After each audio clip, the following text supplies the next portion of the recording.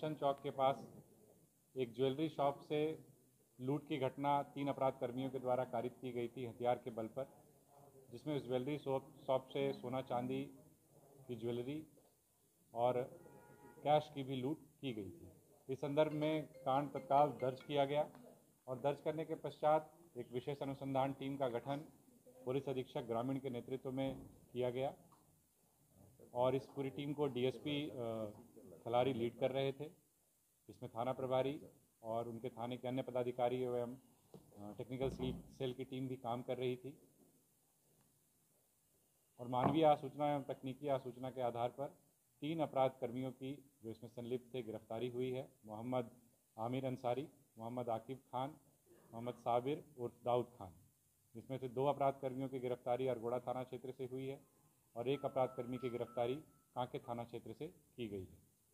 इनके पास से जो कुल बरामदगी हुई है, वो सोने की जो गोल्ड ज्वेलरी थी, वो लगभग 250 ग्राम से अधिक मात्रा में है। चांदी लगभग 9 किलो से अधिक मात्रा में है। कुछ आर्टिफिशियल ज्वेलरी भी है। मोबाइल फ़ोन्स भी इनके पास से चार बरामद हुआ है। और जो हथियार इसमें प्रयुक्त हुआ था, इसमें एक हथियार भी बरामद हुआ है। साथ ही कुछ ज़िंदा कारतूस भी इनके पास से बरामद किया गया है। अगर इनके आपराधिक इतिहास की बात करें तो इनमें से तीनों का ही पहले से आपराधिक इतिहास अभी तक जो हम लोग को प्राप्त हो पाया है।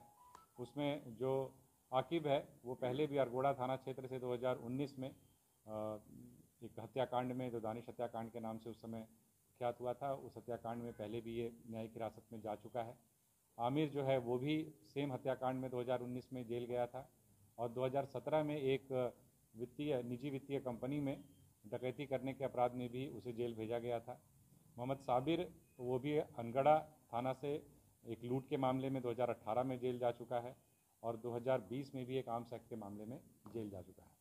इन तीनों ने जो रातू थाना क्षेत्र में भी एक घटना घटित हुई थी, तकरीबन छः महीने पहले एक ज्वेलरी शॉप ओनर की हत्या कर दी गई थी लूटपाट के दौरान। उस मामले में भी अपनी संलिप्तता स्वीकार की है, जिसके संदर्भ में अभी हम लोग रिमांड में लेकर के और विस्तृत पूछताछ करेंगे। अभी जो हम लोगों को जो अभी तक प्राथमिक पूछताछ में जो बात सामने आई है उसमें इन तीनों के मध्य ही आपस में इसका बंटवारा कर दिया गया था।